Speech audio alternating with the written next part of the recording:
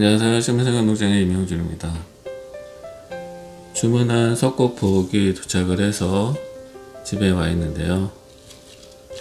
석곡복은 일반 석곡과 다르게 잎에 황금빛 색상이 들어가서 더 고급스럽고 예쁜 석곡입니다.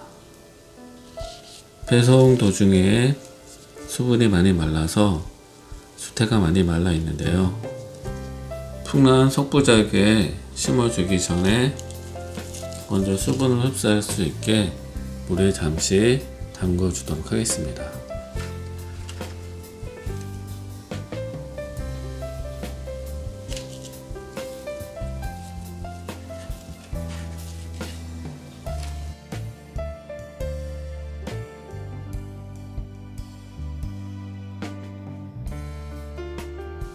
한 시간 정도를 석곡복을 수분을 흡수할 수 있게 물에 담궈 주었고요.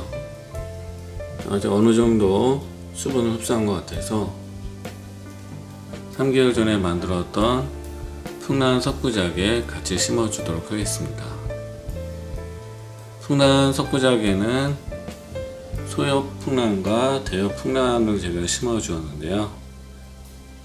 오늘 온 석곡복은 돌에 직접 붙이지 않고 돌 사이에 간격 있는 곳에 넣어서 수태와 함께 넣어서 심어 주도록 하겠습니다. 수분을 흡수한 석곡폭을 풍란의 돌 사이에 수태와 함께 끼워줍니다.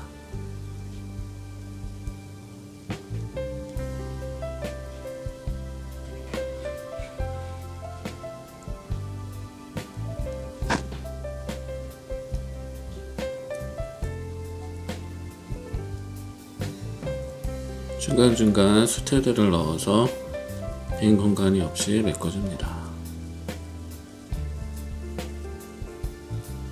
빈 공간이 없이 수태들을 넣어서 석고복을 풍란 석부작에 심어주었고요.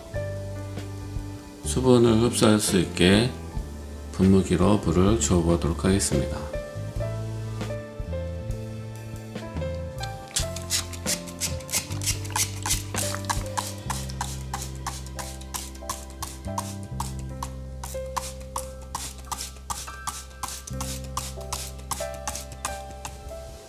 분무기로 뿌리와 잎에 수분을 공급을 해 주었고요.